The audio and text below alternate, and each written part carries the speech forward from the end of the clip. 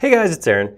So I want to take a moment to take a look at a functionality in Layout 2020. You guys know that I'm, I try, but I don't have layout locked down. I, am I'm, I'm working on it. I'm working hard. Um, my learning's passing on to your learning. I'm trying to get better. So one of the things that I've always heard was make sure your scenes are set up in SketchUp before you go to layout. And there was a reason for that. Layout was really made to take what you do inside of SketchUp, show it, and let you, you know, build your dimensions text over top of it. So it was really important you set, spent time making your scenes right, your styles, um, the what's visible, what's not, camera location, all of that was very important to set up in SketchUp first, and then when you hopped into layout, you just used what was already there. So one of the big changes in layout 2020 is while that's not a bad process, you can get away without having your scenes fully set up. Now, don't come back and tell me, yes, you have to, yes, you should. It's still not a bad workflow. Absolutely. Have your scenes, create your scenes in SketchUp. It's going to be a little easier to do it there. That you have the tools in SketchUp to create great views. But if you have a view set up, it is possible to manipulate it in Layout 2020. And we're going to look at how to do that just now. Okay, so here we have a file open in Layout 2019. So if I click on a model, I can see over here in my SketchUp model window, this is what we're going to be taking a look at, is the differences in this window in 19 versus 20. So over here in 2019, we have what scene I was in. If anything has changed, in this case, I did zoom in to make the picture bigger on my screen. It will tell us that here, modified. So this is one of my existing layers, but it is modified. Um, I have here, if there's a standard view, right now I'm not in a standard view. If ortho is turned on, then I can set an exact scale. And I have the ability, if they are there, to toggle shadows and fog on, uh, as well as set my render options, default line scale, that kind of stuff. So this is what was here before. Like I said, the things you can change here are fairly limited. You can double click to enter into the view and change your view ever so slightly if you need to. You can move the camera around. It doesn't have to be slight. It could be rather extreme if you like.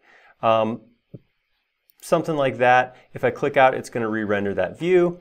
And I could change other things like turning shadow, fog on and off. Um, but that was about it. Not a whole lot I could do. So this is where we do a fancy swipe to our 2020 version. Ooh.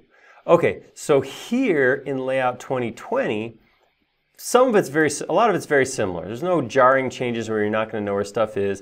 You can see my SketchUp model box looks very different.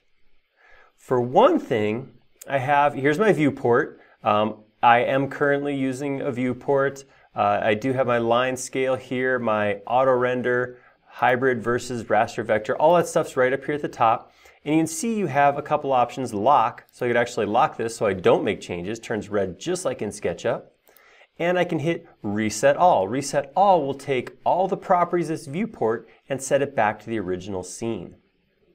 Um, I also have buttons up here at the top for relinking and resyncing just this one selected. Normally that was the thing you do in the right mouse button. It's right here.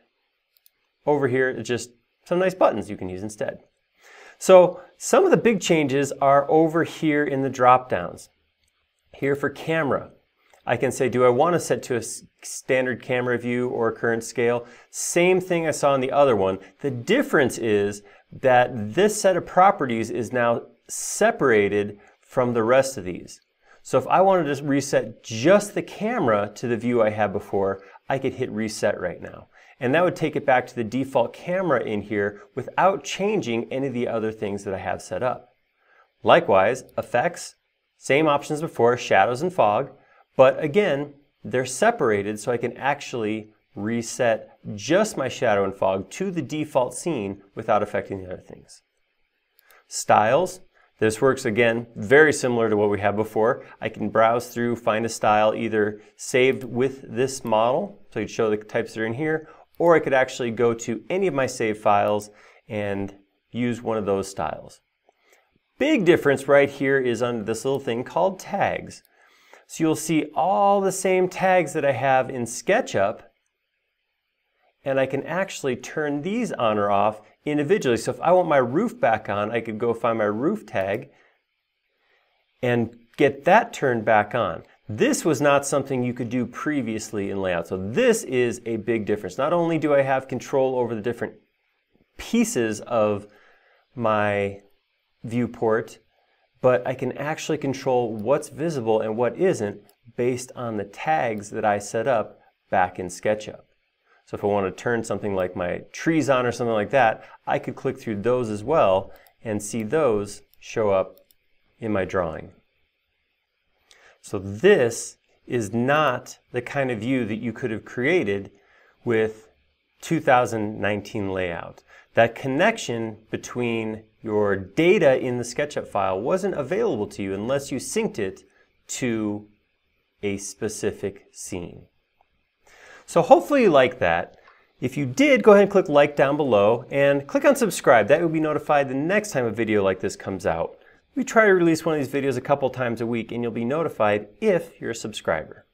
Most importantly though, leave us a comment down below. Let us know if you like this feature, if there's something else you would like to see, or if there's an idea that you have for a video like this. We like making these videos a lot.